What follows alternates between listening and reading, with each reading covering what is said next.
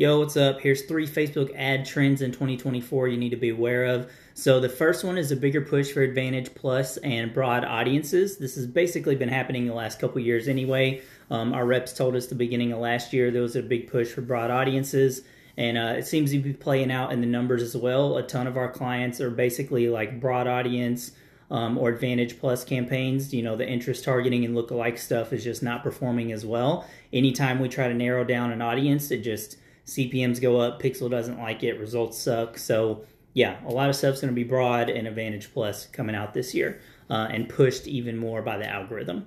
Um, and that leads us to number two, which filters into creative and ad copy are going to be super important, um, even more than before, because now you can't audience hack. So six, seven years ago, you know, if you sold a supplement, you could go after uh, people that liked gyms and liked whey protein and listen to Joe Rogan or whatever, and you could really narrow down your audience to find the right person, and you were rewarded for that because the Pixel wanted to get the data for the right people.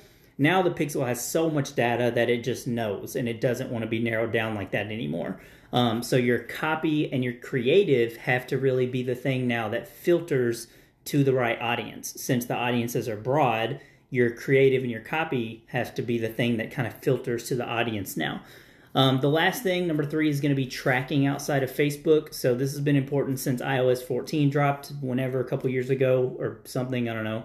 Um, but whenever that dropped, uh, and now it's getting you know more and more as time goes on. On January 4th, Google Chrome just took third-party tracking off of one percent of its users as a test.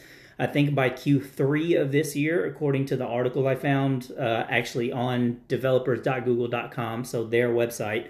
Um, Q3 2024, they want 100% of third party tracking gone from Chrome users. It looks like this might just be in the UK because it's something about uh, UK's competition market authority rules or something.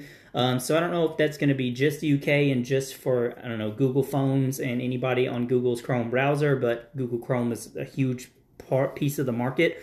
Um, and stuff like this is also happening in the US all the time. And, uh, you know, Apple did iOS 14, iOS 16 had something else about tracking. Um, I think pretty much every update now has something that goes against tracking and pixel data that we need to be able to market well.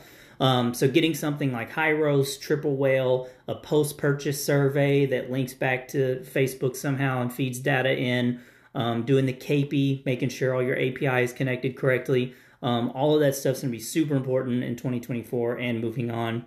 Um, so yeah, there's three quick predictions of things I think is going to happen this year. So bigger, broader audiences, copy and creative super important, and make sure you got your tracking on point.